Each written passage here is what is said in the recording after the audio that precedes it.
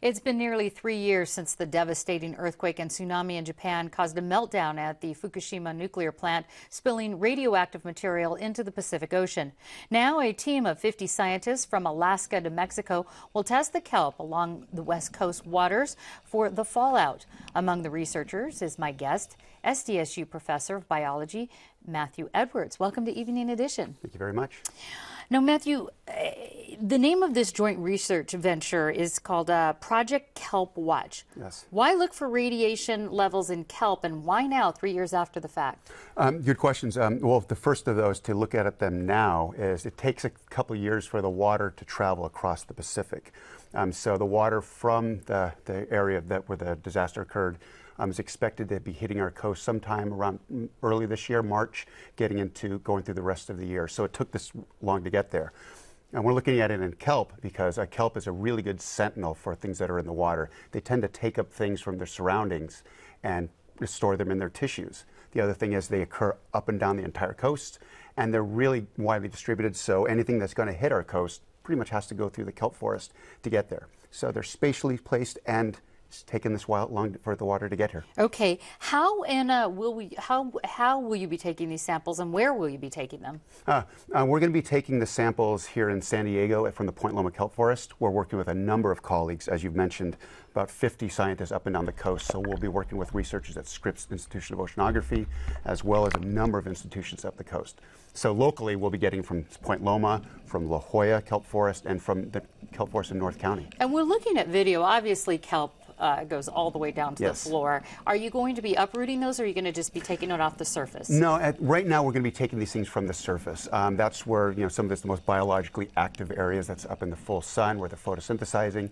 Um, it also happens to be when you're taking kelp. If you take it from the surface, you're not really disturbing the kelp individual because they're growing from the base. So it's a sustainable way of taking it. It's also if we're going to see a single, it's going to be there. How are you going to be able to measure it, and how are you going to be able to determine that this radiation comes from uh, Fukushima?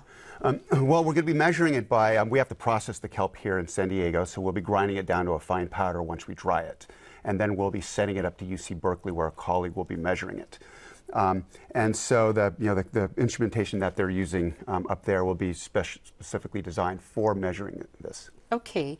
Um, and, and, and they're able to tell that the type of radiation from Fukushima, is that how you'll be able to tell that it's not just a radiant radiation floating in the, uh, oh, in the ocean? yeah. Um, so we're going to be looking for specific elements. We're going to be looking for um, uh, cesium, cesium-134 and 137, which are the byproducts of say, fission reactions, things that you might expect from a nuclear disaster. So it's, we're looking for something that we would expect from this. From this particular one. Yes. I know radiation, you say that, it's sort of like saying yeah. shark in the water. Yeah, uh, it could be scary. Should swimmers, divers, or other ocean enthusiasts, including fishermen, uh, be concerned about this? Well, I don't believe so, and, and, my colleagues and I, none of us believe so. And those of us who have looked for this, um, we're finding that it's really in background levels. That's what we expect. You know, nothing really different than anything anything you'd be expected to encounter in your everyday life.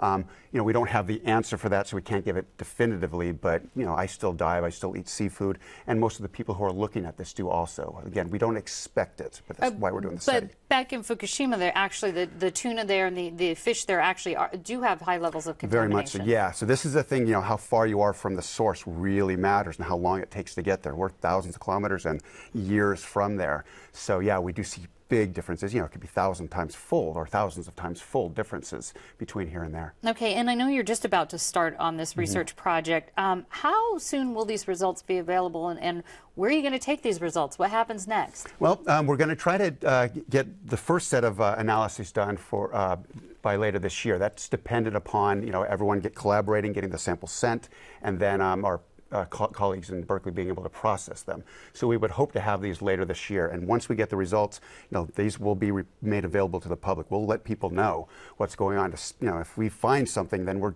we're going to follow this thing up in much stronger, you know, much more earnest, much more intense okay. way of doing it. We will be looking forward yeah. to those results. So SDSU biology professor Matthew Edward, thanks so much. Thank you.